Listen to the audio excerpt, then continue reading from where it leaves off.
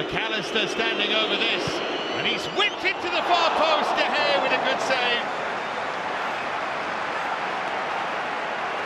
Gets across really well. Just gets almost the right wrist onto that.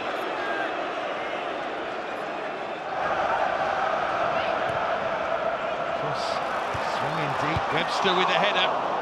Now Mitoma. His shot blocked, and then it's Enciso. Good save by De Gea. Really sharp stop this.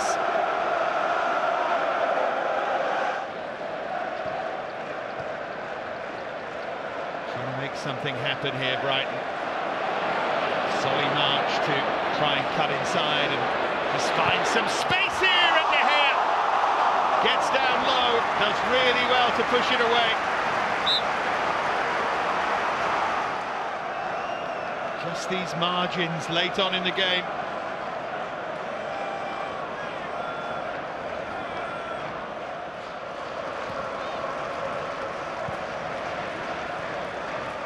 Legs now in extra time. That's run back well.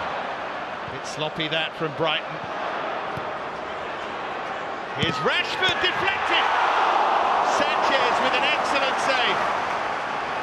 Springs across to push this away.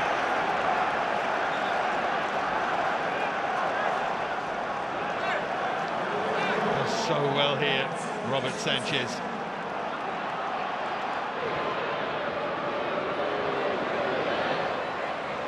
Mitoma.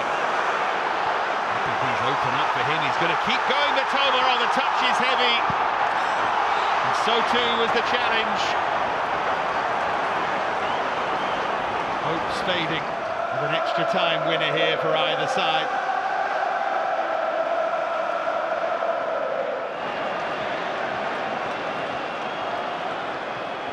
Twelve perfect penalties, six-six in the shootout.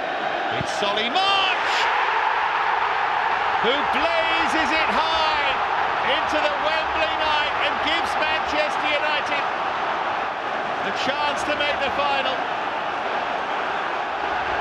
Victor Lindelof needs to keep his nerve to send them into the final, and he does. Nerveless penalty, and it will be a Manchester derby in the FA Cup final for the very first time.